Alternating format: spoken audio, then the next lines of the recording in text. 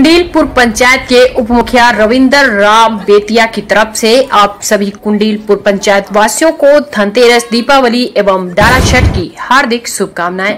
मैं उप मुखिया रविंदर राम, कुंडीलपुर पंचायत से हमारे तरफ़ से कुंडीपुर पंचायत वासियों को धनतेरस, दीपावली एवं छठ पूजा को हार्दिक शुभकामनाएँ और ढेर सारी बधाई।